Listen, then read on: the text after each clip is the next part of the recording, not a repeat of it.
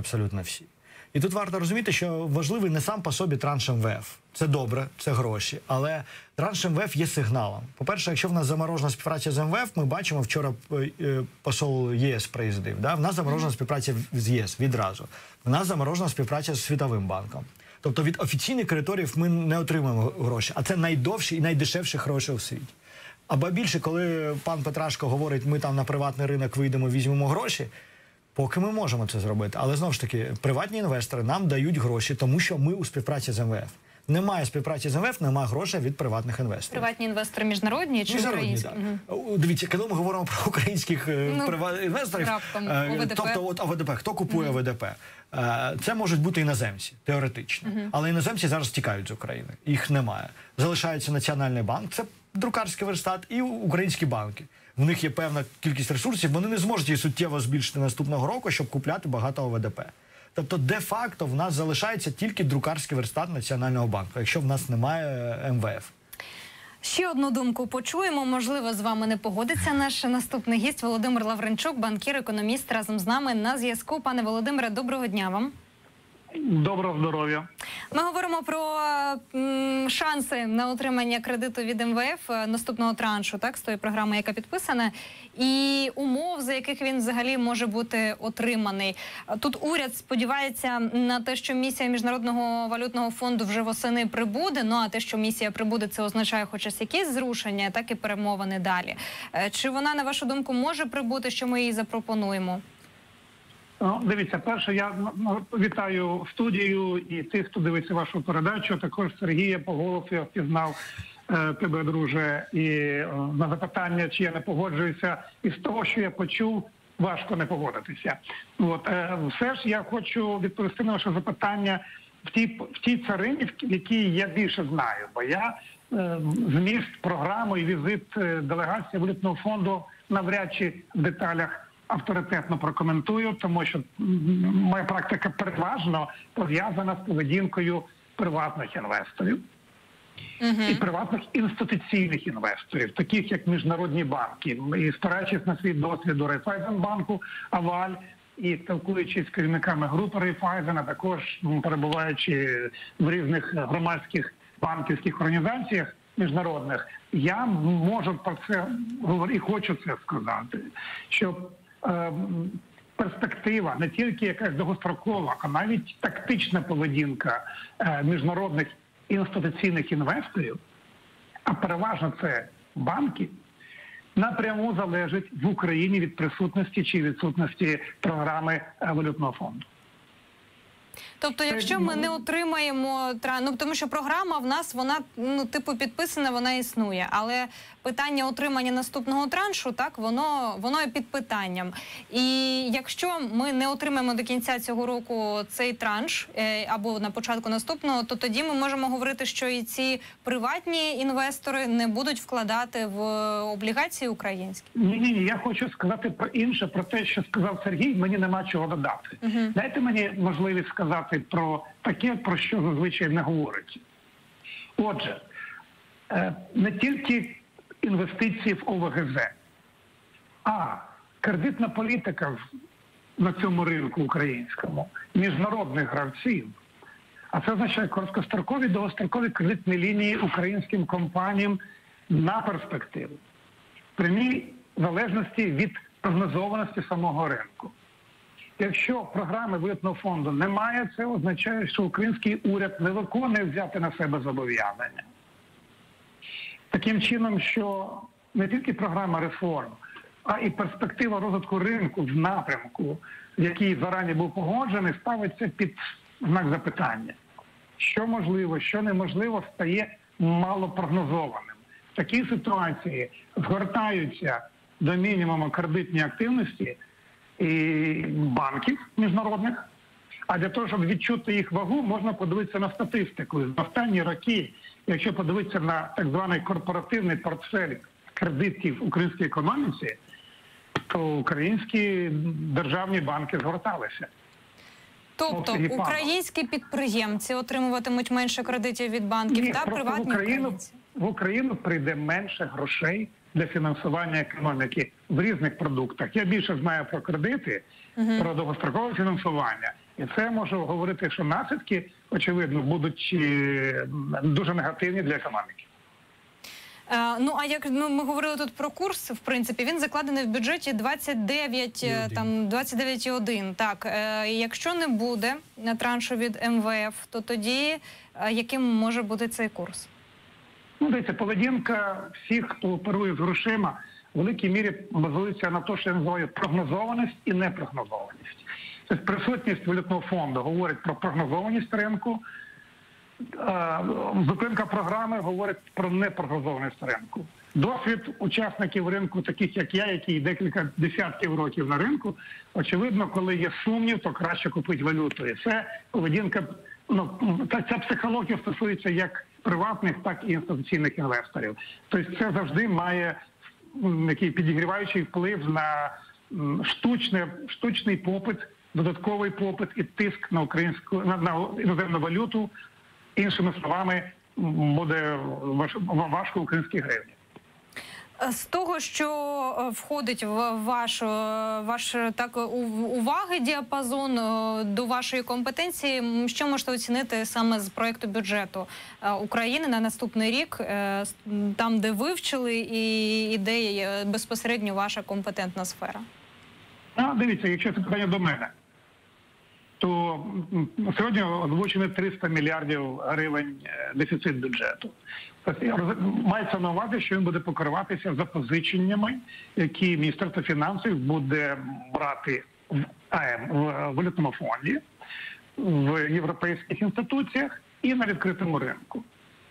Відсутність валютного фонду звужує учасників ринку, буде менший попит на них і буде зростати ціна. Наскільки буде ціна зростати? І ми можемо відкатитися на ціни річної давнини. Тобто найвищі ціни на ринку Східної Європи і взагалі на євразійському континенті. А це дорого. В Україні таких доходів ну, звичайно немає. Ми знову будемо звужувати соціальні, культурні і інші програми. Ну але при цьому влада все ж таки прописує і сподівається, що транш е, від МВФ буде. Не знаємо наскільки це занадто оптимістично або реалістично. А, і також про Нацбанк, можливо, тоді у вас запитаємо. Там зменшені трошечки надходження від Нацбанку заплановані. Так е, це від чого залежить, і чи може Нацбанк можливо надати більше коштів до бюджету?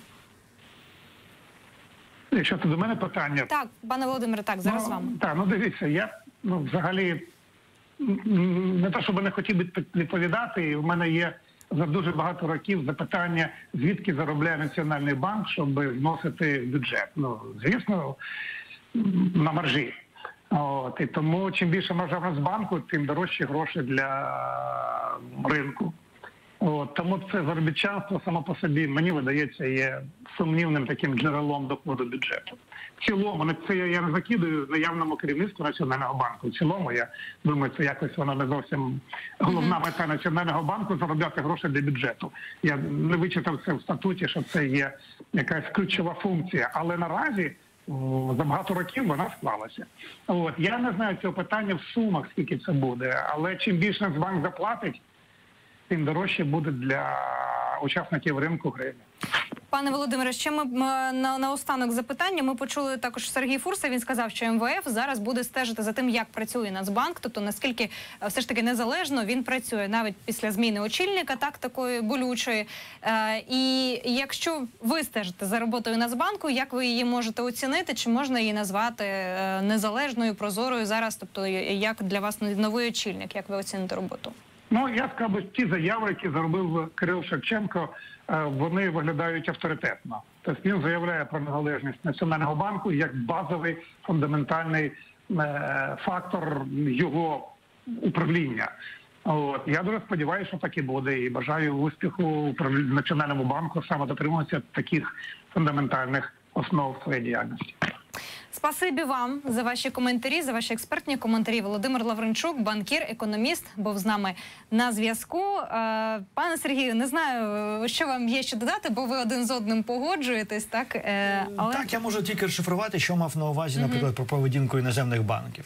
Е, дійсно, для будь-якого там іноземного інвестора, да й взагалі інвестора в Україну є маркери, сигнали. Є МВФ, немає МВФ. Коли немає МВФ, це означає, що Україна рухається до кризи.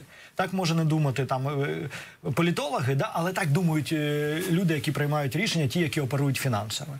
І тому вони просто перестають надавати кредити, обмежують значно кредитування українських компаній. А значить, українські компанії обмежені в можливості інвестувати. Це ж завжди пов'язані речі. А якщо ви не інвестуєте, у вас не зростає економіка. Як результат, ви отримуєте інвести... кризу. Це знов про той хвіст, який виляє собакою.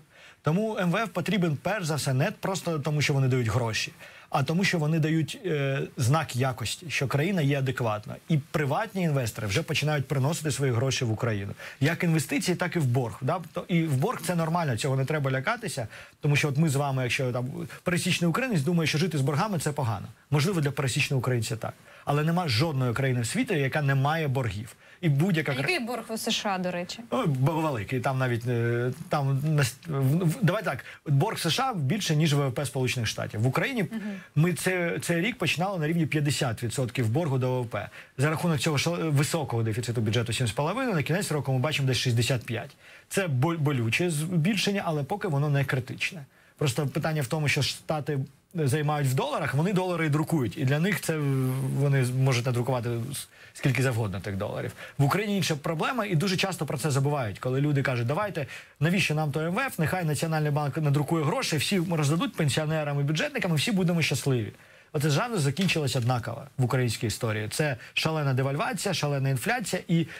Це найбільший удар саме по тим пенсіонерам і бюджетникам, заради яких просять це зробити. Бо вони найбільше страждають від інфляції, від збільшення цін, бо вони найбідніші і найбільше страдають від девальвації. Тому що пересічного українського айтішника цілком влаштовує девальвація, бо він доходи отримує в доларах. А та більшість українців, яка отримує доходи в гривні, від цього страждають і найбільше пенсіонери і бюджетники. А в нас, до речі, з 1 січня наступного року за проектом держбюджету має піднятись мінімальна зарплатня аж до 6 там вже тисяч гривень. Нещодавно до 5 вона дійшла, зараз до 6. Ем, це позитивно відобразиться на бюджеті, чи, чи, чи ніяк не відобразиться? Це можна збалансувати, тому що внаслідок цього ми бачимо також, е, зокрема, там субсидії трошки зменшились. Тобто воно якось перекидається просто з одної статті в іншу, чи ні? Як Це воно, загал- який ефект має? Е, поп- Загалом все це популістичне підвищення мінімальної зарплатні до 6500 з 1 липня наступного року. Це коштує бюджету 41 мільярд е, гривень. Десь треба це ж таки позичати. Е, По-перше, от дивіться, в нас за рік мінімальна зарплатня має зрости на 36%. У нас в Україні в економіці не сталося нічого, щоб обумовлювало таке зростання мінімальної зарплатні. Тобто, це з одного боку, це давай надрукуємо ку- кошти роздамо. З іншого, це елемент тиску на бізнес, який найбільше страждає від карантину. Бо що таке мінімальна зарплатня? Це рівень е, оподаткування. Да? Бо дуже часто люди отримують офіційно мінімалку, а більше в конвертах. І не питання, треба боротися з зарплатою в конверті. Але коли ви так радикально, сильно починаєте боротися в рік карантину, коли страждає саме та сфера, е, яка платить ці зарплати в конвертах, отут у мене питання, чи потрібно це робити саме в цей рік. Загалом, звісно, потрібно. Тому таке необґрунтоване, е, сильне підняття мінімалки, що дорого коштує бюджету. Знову ж таки, це е, всіх цих коштів, які заберуть у бізнесу, не вистачить все рівно для покриття ці- цього зростання. Це дуже негативно. Це знов таки штовхає нас до більшого зростання цін і до девальвації. А вони не повертаються у вигляді податків, хоч якось там компенсуються. Тобто, якщо більше більша сума е, зарплатні, з неї більше податків е, повертається, і люди більше там щось купують. Якщо і це е, в- в так працювало, і, знову ж таки, то ми б з вами вічний двигун вигадали. Да? Давайте роздамо всім всім много багато багато грошей. Вони сплатять багато багато податків, і ми станемо е, раптом багаті і щасливі. Так не буває. Да? Воно так не працює. На жаль. На жаль, е, механізм інший. Має прийти інвестиції в державі. Держава, е, ну не держава, загалом бізнес інвестує ці кошти. Економіка зростає, більше платить податків. У держави з'являється можливість фінансувати більше, в тому числі соціальної частини, а не навпаки, давайте профінансуємо соціальну частину, а потім раптом отримаємо щасливих людей. По антикорупційній інфраструктурі там е, про САП ми з вами говорили, так що е, перший транш також вже там е, призупинили певне від Світового банку, і також говорили навіть, що і безвіз можемо відкотити назад, тобто так забрати безвіз можуть України внаслідок ось цієї некоректного призначення.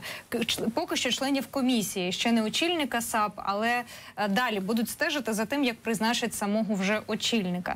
І якщо тут ми е, не хочу використовувати неефірні там слова, але якщо ми ну не споплюжимо це, так е, навіть е, ну і цей процес буде не досить прозорим, то він.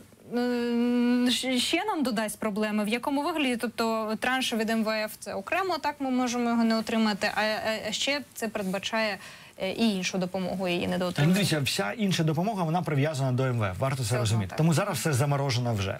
Е, Додаткові проблеми це може створити, якщо ми раптом не взя- взямося за голову і не почнемо відкачувати назад. Ми на- наробили дурниць, а зараз треба ці дурниці якось компенсувати. І чим більше ми робимо дурниць, тим, тим важче потім це буде перезвести до точки нуль, принаймні до точки нуль. Не йти далі, не робити реформ, а принаймні повернутися в точку нуль.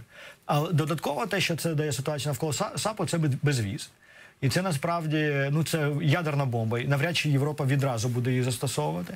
Але що вони кажуть? Слухайте, у вас законодавстві прописані умови. Ми з вами це писали разом, щоб вибудувати незалежну інфраструктуру антикорупційну, щоб ви в українці боролися з корупцією. І ви самі порушуєте це законодавство. І у вас є конфлікт інтересів, бо власне ці е, антикорупційний прокурор є ключовою людиною, яка бореться з корупцією. І що ми бачимо? Що Медведчук, Коломойський і там група від президента приймає рішення всупереч законодавству. Тобто ті люди, які найбільше можуть стати під увагою антикорупційної інфраструктури, намагаються посадити свою людину е, в антикорупційну інфраструктуру.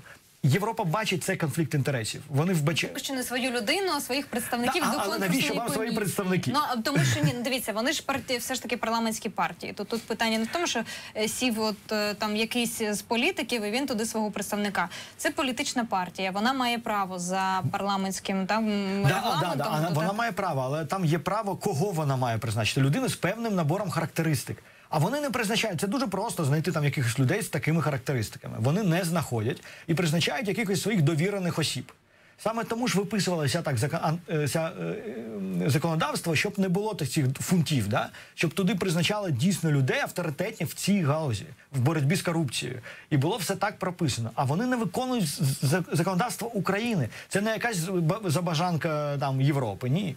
Ну е, запрописано було, що мали мати досвід антикорупційної діяльності. А хто не займається антикорупційною діяльністю?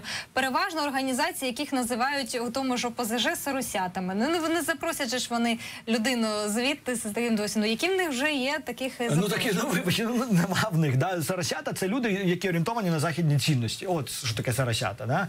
Ну і дійсно в руському миру корупція не проблема. І там не ОПЗЖ ніколи не боровся з корупцією, Боже збав. Але представників але завдання зараз, поставили. ну, Вони ну, знайшли просто так, юристів, адвокатів. Ну так, але Європа каже, ну хлопці, ну це неправильно, бо законодавство прописано по-іншому. Це ваше українське законодавство. Воно потрібно Україні, воно не потрібно Європі.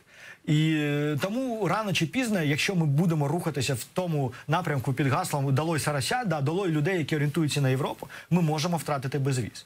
А безвіз тут варто розуміти, що це не тільки символічна така штука. Коли безвіз е, впроваджували, думали, що це для білих комірців, щоб вони їздили там в Словакію каву пити чи в Вену. А де-факто безвіз суті... е, е, що сталося, коли з'явився безвіз? Мільйон людей змогло легально поїхати працювати в Польщу. Це створило конкуренцію в Україні. Українські роботодавці почали конкурувати з польськими роботодавцями і значно підвищували зарплатню. З 16 по 19 рік середня зарплата в Україні, в тому числі в результаті безвізу, е, виросла вдвічі. І зараз, от е, якщо ви зачиняєте ці, цей безвіз, да, ці всі люди не зможуть легально працювати в Польщі. Вони будуть вимушені повертатися в Україну. І звісно, це призведе до там іншої ситуації з заробітними платами в Україні. Тому найбільше постр... можуть постраждати від безвізу, якщо колись втрачено прості робітники, які ніколи той за кордон і не їздили. Да, максимум Туреччина, да, і то навряд чи. А прості люди, які Ну, там вручну, бо звісно, не був потрібен. Так Да. А, давайте зараз е, тема, яка дуже вам близька. Зокрема, також отже, захист чести і гідності. Брати Суркіси та їхній батько подали позов до суду на Сергія Фурсу і прямий канал через висловлювання експерта в етері. Зокрема, нардепові і власникові Динамо Київ не сподобалось обговорення звіту компанії з корпоративних розслідувань Крол щодо виведення грошей з Приватбанку на британські офшори олігархів перед приватизацією. Вони вимагають спростувати ці заяви та вибачитися. Нагадаю, наприкінці липня 2020 року видання Chicago Morning Star опублікувало опублікувало розслідування агенції Крол, як колишні е, власники Приватбанку виводили з нього гроші до націоналізації. Перше засідання мало відбутись 14 вересня. Утім, представники змі не прийшли до суду, тож його перенесли на місяць. Е, розповідайте нам тепер далі деталі. ну це дуже дивна історія. Тому